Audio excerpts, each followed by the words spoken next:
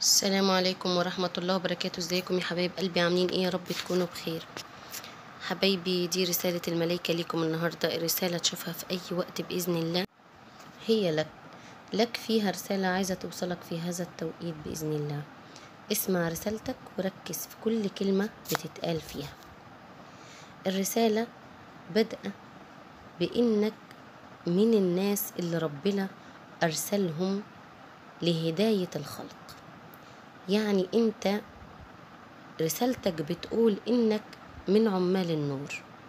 يعني بتعمل شيء لهداية الناس. انت بتمشي على الصراط المستقيم. يعني من الآخر كده آه، ماشي صح في طريقك ماشي صح في اللي انت بتعمله فرسالتك بتقول انك صح وعلى الطريق الصحيح. وانت من الناس اللي ربنا بيرسلهم علشان يهدوا غيرهم حتى لو بيغيروا الواقع اللي قدامهم بكلمة حلوة بيقولوها للناس تغير وتبدل من مشكلة إلى كلام جميل وإلى آه، فك وحل المشاكل. يعني أنت ما شاء الله عليك رسالتك بتقول كمل أنت على الطريق الصحيح اهدي من استطعت. كمل لو حتى بتقدر تفك بين الناس آه، المشاكل أو مثلا بتعمل أي شيء يخلي ال- المشكلة بدل ما بتبقى نار تبقى رماد بتحل بين أزواج بتحل بين ناس بتقعد في مشاكل عائلية وبتحلها آه، بتحفظ قرآن آه، ماشي في طريق الهداية للبشر. فأنت ماشي صح. يعني هي رسالتك بتقول أنت عامل من عمال النور. ودي رسالة أكيدة بإذن الله. كمل لأنك ماشي على الطريق الصحيح ماشي على الخط المستقيم ماشي على الصراط المستقيم. يعني أنت آه، ما شاء الله عليك كمل وأنت بإذن الله من الناس اللي هيقدروا يهدوا آه، مجموعة كبيرة من الناس سبحان الله وهيلقي ربنا محبتك في قلوب المؤمنين. أعلم إن الرسالة لك يلي بتسمع الرسالة ولو أنت لسه لغاية دلوقتي ما اكتشفتش إيه هي مهمتك ورسالتك في الحياة صدقني هتكتشفها بعد الرسالة دي. أنت ممكن يجيلك منام أو رؤية تبين لك إنك عامل من عمال النور ولازم تعمل برسالتك. طيب ناس بتقول أنا مش قادر أكتشف رسالتي لغاية دلوقتي في الحياة لو أنت بتماشي على القرآن صح؟ وقلت لكم ورد آية النور لو عملتوه صح؟ هتجيلكم الرؤية تقولك إيه هي رسالتك في الحياة. إذا كنت معالج أو إذا كنت عامل نور أو إذا كنت راقي بالقرآن أو إذا كنت مثلا زوهري الدم أو زوهري معالج أو زوهري كشافة يعني أنت ممكن تكون حتى يكون عندك كشف إنك تقدر تكشف على إنسان إذا كان مسحور أو إذا كان في مس أو سحر أو حاجات زي كده. فأنت لو عايز تكتشف الهبة الربانية الجميلة اللي فيك دي أنت لازم تقرأ ورد آية النور وهتلاقوا الفيديو عندي في مجربات القرآن الكريم وهو ورد آية النور. آه، شوفوا الفيديو وهتعرفوا لو مشيتوا عليه واحد وعشرين يوم أو أكتر حسب ما أنت طاقة جسمك أو شكرات جسمك تكون مفتوحة فأنت هتوصلك الرؤية ال- الحقيقية اللي هي بتدل أنت إيه بالظبط ولك آه، رسالة إيه في الحياة. فأنت إن شاء الله كمل على الطريق واعمل ورد آية النور لأنك بإذن الله لك رسالة في الحياة وأنت بتأديها حاليا أو لسه هتكتشفها وبتأديها ودي رسالة ليك علشان تفهم وتبصر ما هي رسالتك في الحياة.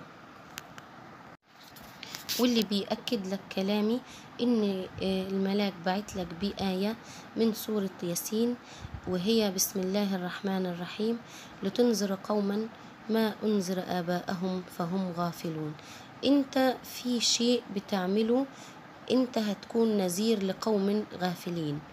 إنت بتعمل شيء بتهدي بيه الناس أو بتعمل أو هتعمل شيء تهدي بيه الناس هتكتشف رسالتك لأن الرسالة جاية لك بإنك إنت هتكون نذير مبين لقوم غافلين. خلي بالك إنك لازم تمشي على الرسالة وتتبع ورد آية النور علشان تكتشف رسالتك. طيب دي رسالة للبعض يا جماعة.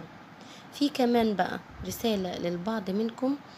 هم آه، يعني في حاجة في قلبهم كده تعباهم طول الوقت آه، زعلانين آه، في حبة حزن كده شايلينه في قلبهم في حاجة كاتمين عليها متضايقين حابسين أنفاسهم يعني اطلع من الطاقة اللي انت فيها دي علشان آه، ربنا حاسس باللي انت فيه وعارف إيه اللي تعبك من جواه بس هو عايزك تخرج من الطاقة دي وقلبك يشع بالنور وبنور الحياة والحيوية وعايزك تنطلق كده وتبعد عن الغم والهم اللي انت شايله والحزن اللي انت فيه ده لأن كل شيء وله حد.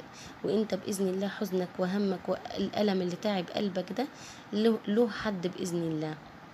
وخلاص قرب ينتهي منك بإذن الله. بس أنت اطلع من حالة الخمول والكسل والحزن اللي أنت فيه ده لأن في ناس هنا عندها خمول جامد جدا. من بعد ما خرجت من شهر رمضان وهم تعبانين وإرهاق وتعب وزي ما تقولوا كده آه، في كسل آه، ممكن كسل في العبادات ممكن كسل في في قراءة القرآن.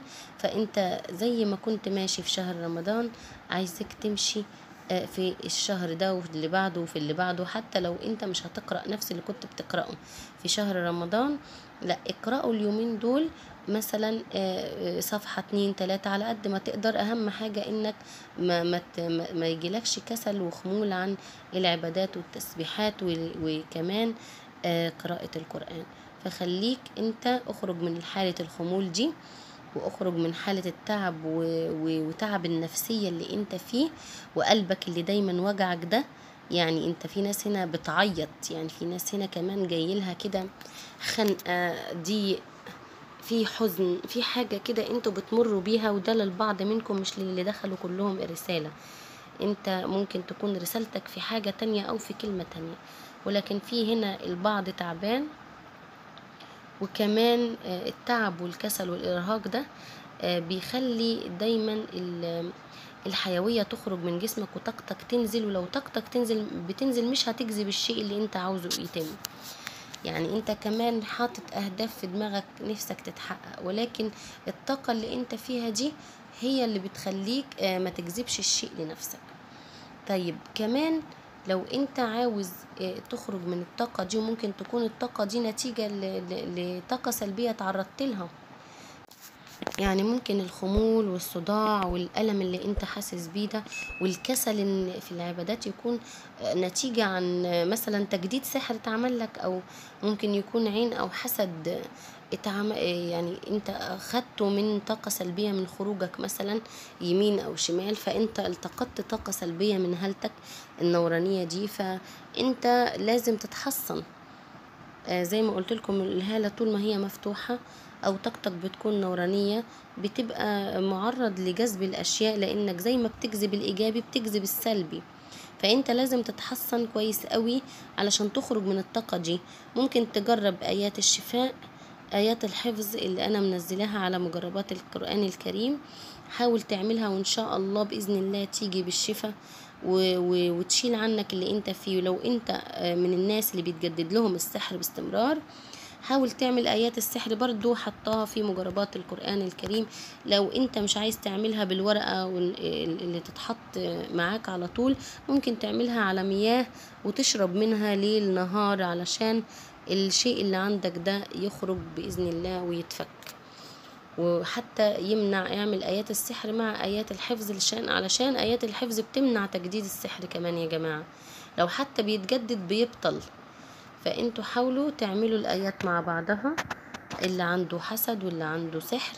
أنا حاطة كذا فيديو في العين للعين والحسد إزاي تتشال بطريقة المرمرية واللبان الذكر. وحاطة فيديوهات للسحر وحاطة فيديوهات لآيات الحفظ. وحاولوا إنكم أنتم تعملوا الحاجة دي وتمشوا عليها. أنا حتى بنزلهم دايما المجربات بنزلها على القناتين علشان اللي هنا يستفاد منها واللي هنا يستفاد منها. والفيديو اللي بيبقى متأكد عليا إني أنزله هنا وهنا بضطر أنزله هنا وهنا. لو حتى مش من المجربات ولقيت رسالة عندك اتعادت عليك في القناة دي واتعادت عليك في القناة دي بيبقى لازم تسمعها مرة تانية. بيبقى فيها شيء بيبقى فيها تحذير ولازم تسمعه. فلازم إن أنا أعيدها. لكن أنا ما بعيدش كل الأوقات ولا كل الفيديوهات. هي بس فيديوهات معينة بيبقى لازم تتعرض مرة تانية. فأنت خلي بالك وخد بالك من نفسك وحصن نفسك كويس جدا علشان تخرج من الطاقة اللي أنت فيها دي. ودايما خلي بالك من آيات الحفظ. علشان هي بتمنع تجديد السحر والعين والحسد بتترد على صاحبها بإذن الله.